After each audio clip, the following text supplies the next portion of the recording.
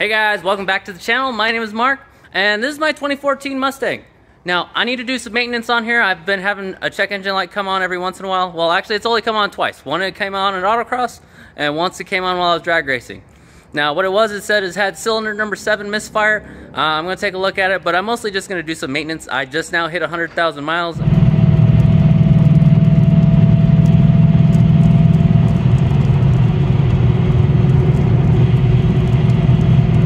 Oh yeah, 100, 100, what? And it's probably time to do it. So I'm gonna do that anyway, see if it fixes the problem. If not, I'll look deeper into it. And so today, I'm gonna change out some spark plugs and coils. I might even do a few other things. Let's see what happens. All right, so I got the five liter Coyote V8. Let's go ahead and we'll change out some spark plugs. I'll show you guys how to do it. It's actually really easy on this engine. So first thing you gotta do is you gotta pull up on this. I've already done it. You know, give you a little bit of space because we gotta pull these little covers off. And before we do that, cap's in the way, that comes off. And then there's just a little clip on top of this hose. Push the clip over, it comes right off. So once we do that, it gives us it out of the way. We just pull this little cover off. So it's just got little push pins that it pushes down on. We just got to pull on it, it comes right off. So here's our little, this is one bank of spark plugs, the other one's the other bank of spark plugs. So these are our little coils. We got to take these off. We just push these little clips up. And then we're to push on a little button there. See if we can get it come up. It's hard to do with one hand sometimes. Maybe a pocket screwdriver is what I need.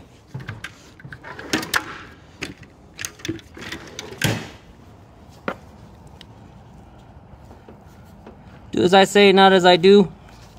Sometimes you can push the little clip up and this will come off. Sometimes not. Alright, maybe this is just two-handed job. I'm to put you down real quick and I'm to unplug these. Alright, so take all the little connectors off. That was pretty easy once you have two hands. And then all you pretty much do, little coil packs, you just pull on them, let come right out. So when you pull these out, you want to inspect them. Uh, one of them you want to look around the outside and make sure there's no cracks or anything in them. And, you know, look down here, make sure there's no oil inside of there, uh, which doesn't look like there is. Get a better flashlight. There we go. So, we just want to look down inside of there, make sure there's nothing in there, make sure there's no oil. And if the, everything looks nice and clean, we can take the spark plugs out. If there is something in there, we want to try to clean it out. That way we don't have it going down inside of the cylinders. So if there's oil, kind of like clean it up with a rag or you know, suck it out with whatever you can. If some dirt, blow some air in there, try to get it out. And we'll just take the spark plugs out and change them out.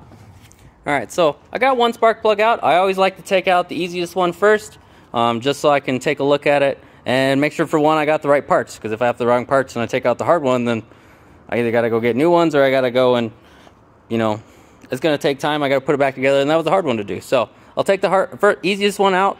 Once I verify everything's correct, I will start from the hardest one and do the rest of them. But when you get your spark plugs out, you want to take a look at them. Let's see if I, can. there we go. So you want to inspect for different things. There is a little bit of oil on here. And then when you look at the tip here, you want to see, so if you look at the strap that goes across the top, yeah, let me see if I can set this down so you guys can see. I can point stuff out a little bit. So, this right here is your little strap that goes across the top. And if you look, there's no more little edge on there. Um, as the little spark goes across, it'll sit there and eventually kind of burn away all the, the metal that's there. So if you look at the top of it, the top of it has an edge. Come on, focus.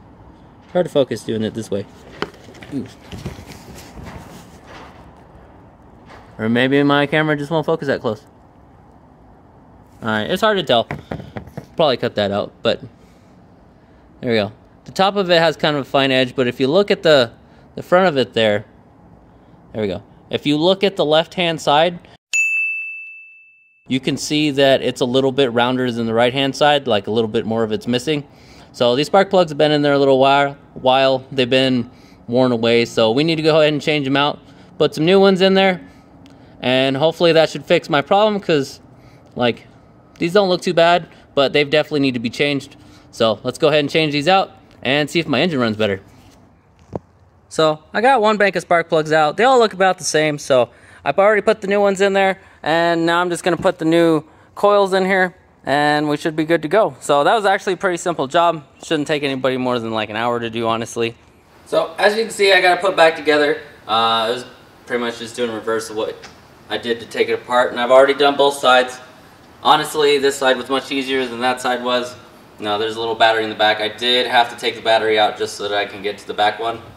But now that I got the Mustang back together, the only time it really messed up was when I was doing something like autocross or drag racing where I'm actually pushing the engine. Uh, now that I got it back together, I gotta go do something like that, see if I can get it to mess up again. Hopefully it doesn't do anything weird, and hopefully that was just an easy fix, and, you know, keep it simple. All right, so it's been about a month and a half or so since I actually did the tune-up, and I've done uh, two autocross events, and everything seems to be running pretty smooth, so basically, you know, keep it simple, guys. If you have a problem, start with the basics and then go from there. If you guys like what you saw, smash that thumbs up button, and don't forget to subscribe and hit that notification bell. That way the next time I post a video on one of my cars, you guys will be the first to know. Also, I'll leave my Instagram handle down below. I do post there from time to time. Thank you, guys. I will see you next video.